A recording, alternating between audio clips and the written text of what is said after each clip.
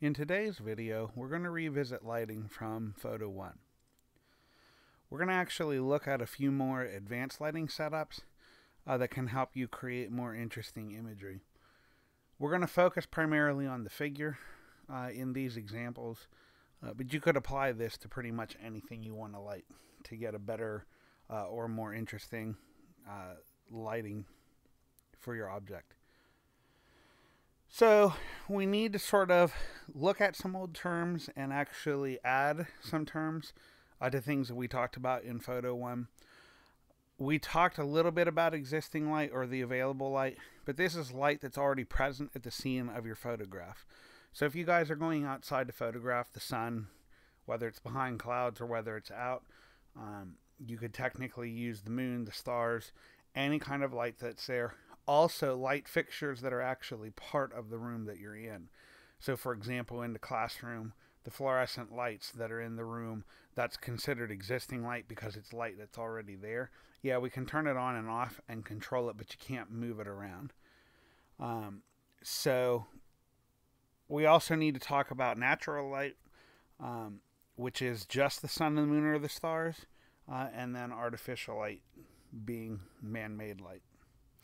When we talk about existing light, we use that a lot with um, starlight. We get what are called star trails, which you see here. Uh, and basically, this is a image that was taken outside of this lighthouse, uh, actually at night. And what you're seeing is very much like we talked about uh, just recently with motion. You're actually tracking the motion of the stars. So each of those little streaks there is actually a star and you're seeing the rotation of the Earth. What this photographer did is they lined the North Star up uh, behind that lighthouse, the light in the lighthouse. Uh, set their camera on a tripod and then set for you know eight, nine, ten minute, maybe half hour exposure, uh, and let it go. The longer you let those go, the longer your trails will be. Um, you can actually set these where you're setting for almost as much darkness as there is, and you'll get an almost complete circle. Uh, there are people that have set these up at the North or South Pole during the winter months when the sun really never rises, and you can almost make complete circles. Um, track track the st- actual star the whole way around uh, one rotation of the Earth, so a 24 hour exposure. The other thing that we can do with existing light um, is playing around with this idea of light writing. Here, uh, you have a person with a sparkler and they're actually writing with it. You hold the exposure open till they've done their little writing thing, and then you let the exposure um, go, uh, and you end up, it will record where the light is. Because that light is very powerful, you can see the people sort of in the background there that are um, lit by this single light source uh, but it gives you that illusion of that they are actually lighting, uh, writing with light. So that's something you can play around with, but just a way of looking at neat ways to play with existing light. We talk about studio light or artificial light. Um, this is light that you're bringing into the scene to bo boost or control the lighting of that scene. Again, if you have fluorescent lights overhead, you may bring in more lights. Um, in the art rooms, we have the incandescent spotlights. We could have those on but then also bring in additional spotlights uh, to make the room uh, brighter, uh, but also as a way of controlling where the light is. Um, you guys in Photo One played around with the studio light, uh, the silver light setups. Um, you can use your desk lamp for this. You can come in and use my lights, um, but it's anything that you can control. Uh, of course, the artificial light is anything that you're bringing into the scene. Um, it can be as simple as a single flash or it can be complex as a multiple um, light setup, which we're going to talk about. We also need to differentiate uh, between, uh, with artificial light, two different ways of getting light. A continuous light is a steady, uninterrupted light. Um, so, like from a light bulb, electric light source, a light bulb, the lighting that you used in photo one would have been a continuous light source. The other type of artificial light then would be the flash. And the flash is a light source, obviously, that it's a powerful single burst um, that the camera syncs with the shutter. Uh, I don't really want you using flash now, but if you can detach the flash from your camera and fire it remotely, you can actually use the flash like uh, you would use your um, the the studio lights that we were using in Photo One.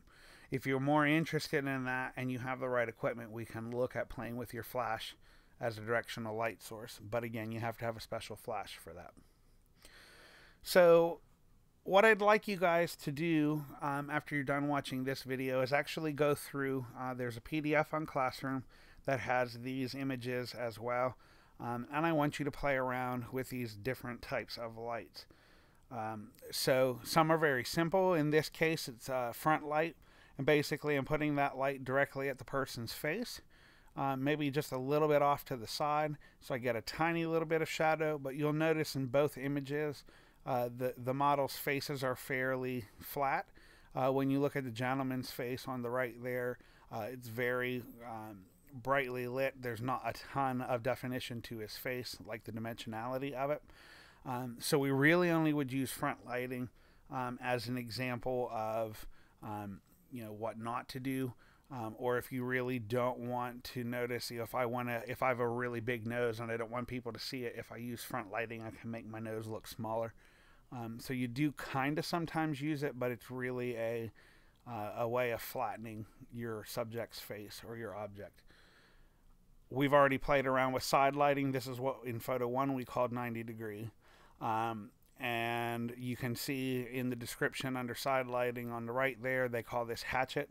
Um, that's why I always use the example if I put an axe in your face, um, that half of it should be lit, half should be uh, in shadow high side light, high side lighting um, is basically what we called 45, but they actually, in these instances, bring the light higher than the model. So not only is it the 45 degree where the apple of the cheek uh, is lit, but they actually raise the light a little bit more. What that does is elongates the shadow of the nose um, a little bit, and again, just adds to that dimensionality. Um, it gives you more of a natural look that your light sources are usually higher than you. Um, so it gives you a more sort of natural looking light. Um, but again, this is very close to what we did with 45. Uh, top lighting, now we're getting into ones that you're using to create effects. Um, in this case, we put the light directly over top of, uh, so you may need somebody to help you hold your light up that high. Uh, and you can see in both models' faces, the light is really accentuating the eye sockets. And so you get almost like a skull look to it. Uh, it really starts to be kind of creepy looking uh, in both of these. It almost blacks out the eyes totally. So again, you'd be using this for an effect, a dramatic effect. Probably the most recognizable um, is the ghoul lighting, or what we call under underlighting. Uh, and this is putting your light source directly under the person's face, aimed up at their face. If you've ever been camping and you've told ghost stories around the campfire, you probably have seen or done yourself put the flashlight under your face to make it even more intense. Again, this is totally an effect lighting. None of you are going to go do portraiture this way.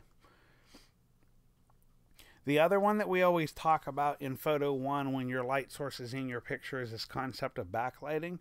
In both of these cases, the light is directly behind your subject's uh, head, so you just get that halo outline. If you're doing backlighting correctly outside, you'll actually get imagery uh, where your subject is in silhouette and all of the colors and the normal values are in the background. Um, so let's take a look at a couple of those if you wanted to try playing around with naturally backlit stuff, which a bunch of you have tried before. Uh, in this instance, this is a horrible one. This is a horrible light merger. My light source is not hidden by my subject here, so you get those rays of light. Now, you may use this for some kind of an effect, um, but it's not good backlighting. It's actually uh, a, a, photograph that hasn't been composed uh, quite right. This is what a backlit subject should look like. So you have the three people standing with uh, facing the, the sunrise or the sunset here. Um, the sun is directly behind the man that's standing. Uh, and you see that they're in silhouette. I barely can see uh, information on them. I can tell there's some kind of design on the man's hat, um, and the person that's sitting low uh, seems to have some kind of like a head wrap or a hood over their head um, but I really can't see a lot of information in them. This is what backlighting should look like. One of the other things that we need to talk about then is this multi-light setup. And the only reason you really need to know this is if you're ever going to do true portrait photography. Um, for example, like for your school portraits, your senior portraits, um, what they use for the yearbook, they're using this multi-light setup. So we start with your main 45 degree light, get that set up basically like we would have in photo one with uh, 45. We bring in that second light uh, that ends up softening uh, the shadow part. So you can see that her face has sort of lit, lit up uh, in the shadow side. And then we add one more light. And this one is actually one that doesn't always make sense to people. Uh, but this is actually a light that is aimed at your background. And what that does is it separates your model's uh, hair uh, and head from their background. And so it makes them stick out a little bit more. In this case, they're using just a white background. In our back black background setup in the classroom, um, it actually does help to separate uh, people with dark hair from that dark background. Um, so you guys want to practice this one, you will be required to set the three lights up. Uh, and I have that set up in the classroom um, if you need all of those lights. One other thing we need to talk about is this concept of reflectors. So reflectors can actually be used as a way of, if I don't have enough light, um, to actually create a second uh, light without having a light bulb. So here you can see a picture of the pot in the top left was taken with just the single light source. It's super dramatic. I lose details in the bottom of the shadows and I can't quite tell what that thing is uh, in the lower left hand corner in front of the teapot. So by taking a reflector, which is simply a, a piece of white cardboard, a uh, white painted piece of plywood, uh, you can actually buy reflectors um, that are sort of like a, a shiny silver color. Um, you put that behind your subject and then you rephotograph it and you can see uh, on the bottom right uh, picture, that same teapot now looks like it's been lit from multiple light sources. Um, I still have value to it. I can tell that the pot is round, but now I can actually tell that this is a picture of a teapot, and I have a pile of tea leaves in the middle. Um, and then the the silver ball looking thing, sphere looking thing, is actually um, a diffuser, a tea diffuser. So you put the tea in that, put it in the teapot, and it'll keep the the tea from uh, spreading all over in the pot. So by using that reflector, I've taken a single light and, and turned it into a second light. You also may have seen this if you've ever watched um, when they do like the swimsuit edition for Sports Illustrated.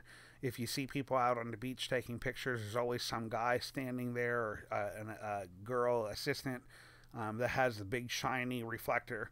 They're actually using that reflector as a second light and the sun as the main light source. So that reflector gives you um, the ability uh, to get a second light source without actually having to buy a light.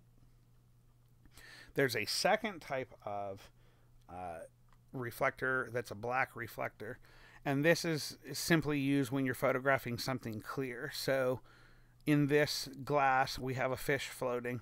Um, if we didn't have those black reflectors on the sides, that glass would disappear into the background.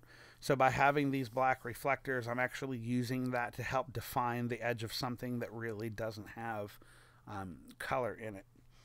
Uh, again, reflectors are just there so that you know about them. You don't have to use them. Um, you can play around with them if you'd like. And I actually have a couple reflectors that you can use um, if you need to. So a couple things we need to look over here real quick. Um, if you don't know how to read your camera's light meter, this is probably something that you and I need to sit down and make sure you know how to read it. Um, lighting sometimes is a little bit easier to shoot on a manual setting so that you can end up adjusting and lying to your camera to get a little bit more of a dramatic effect. Um, do you have multiple light sources that you can try and set all of these lighting schemes uh, up at home? Or are you going to have to use my lighting for like the multi-light one? um, which is perfectly fine, but you need to bring your own subject um, to photograph for that. Uh, if you don't know uh, where, if you have these lights, uh, we can also talk about signing them out. Although I'm a little leery of sending uh, lights home because of bulbs breaking, um, so we can talk about that if you don't have access to all of that. For the shooting assignment itself, um, you're going to continue to explore compositional uh, and lighting techniques from Photo 1, you're now going to concentrate on light uh, and the effect it has on your subject again. Um, so you're going to be looking at those uh, light schemes on the handouts uh, and play around with those. So you have five required uh, images for this. A well composed and executed 90 or 45, studio or natural lit. I don't care uh, which you do. You do not have to have both. Um, you need to give me an example of well composed and executed backlit subject, whether that's done with a studio light or if you go out and try and do it outside. Uh, an example of a well composed and executed multiple lit subject, um, that's the three light setup that we talked about uh, towards the end of the lighting setup. Um, you need to have a well composed ghoul lit uh, subject to play around with the ghoul lighting. Um, and then uh, you need to come up with a well composed and executed lit subject um, that's your choice, studio or naturally lit, and you can't repeat any of the four uh, schemes that were required so far. You must take 24 exposures for this one total. Um, anything you take in class for the activity can't count. You must bring something else in to do again. Again, think about compositional techniques um, from Photo 1 and things that we've uh, dealt with this uh, semester so far. Um, you don't have to have them in every image. You guys know the way that this runs. You're going to be able to crop, you want to try and compose as much as you can in the camera. It'll save you some time, uh, and you can use Photoshop uh, to adjust everything else that you need to. Um, and then uh, what I'm going to be looking for again, that 45 or 90, the studio or naturally lit, um, the backlit subject, uh, the multiple lit subject, the ghoul lit subject, um, and then uh, the one more that's not any of those first four. So if you do 90 degree uh, in the first one there, you could do 45 for the other. That 90 and 45 and the backlit can be studio or naturally lit. Uh, the ghoul light and the multiple light uh, have to be studio lit. There's no way for you to do ghoul lighting with a natural light source. Um, so you can think about those. Um, you'll see the rubric next week when your negatives are due to see um, what I'm looking for in the finals. So what I'd like you to do now is go over to the other room, um, or I'm sorry, working in the room. Um, use the PDF. Uh, you can bring it up on somebody's Chromebook, have it near the light sources, grab your cameras, um, and I actually want you to recreate all of the lighting schemes it talks about. Take a picture, each of you, for each um, of those schemes. Um, and then make sure you show them to me at some point so I know that you understand what you're going after. All right, go ahead and practice.